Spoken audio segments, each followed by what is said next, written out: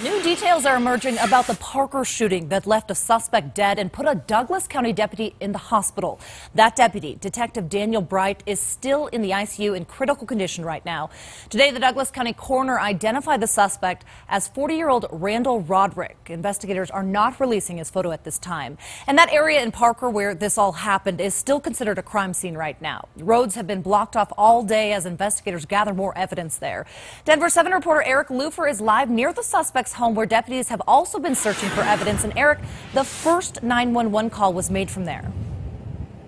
That is true. So detectives have been here all day gathering evidence. We've been told that they've secured the scene and they will leave very soon. We have seen a lot this afternoon, including volunteer search teams who just left the scene. They canvassed this whole area, a very large crime scene. They have left. We've learned a lot. The suspect's name, and we're learning more about the moments before this situation took a very bad turn.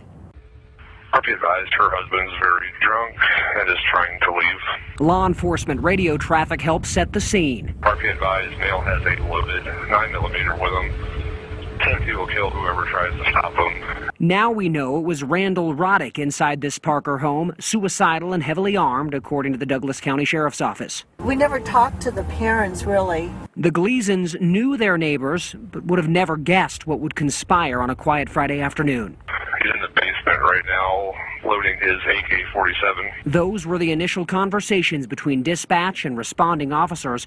Roddick eventually got into this RV. Deputies followed. Oh, shot fired, shot fired, two there, oh, shot fired. The shooting ending just footsteps away from a preschool and middle school, a hospital, and a health club. Roddick was killed, a deputy hit. What happened to the family? New questions from the Gleasons, who have only really talked to a girl who lived in the home police first responded to. The little, the girl, she was um, handicapped, so I got to talk to her a little bit.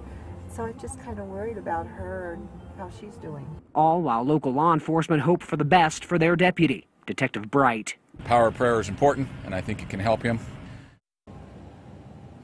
Now, just before 5 o'clock, we saw two tow trucks drive away with two vehicles, most likely because those are going to be part of the evidence here. The Douglas County Sheriff sent out a statement earlier today, still asking for prayers for his injured deputy. Also, he wanted to make sure to say how proud he was of his deputies. He believes many innocent lives were saved because of their actions yesterday.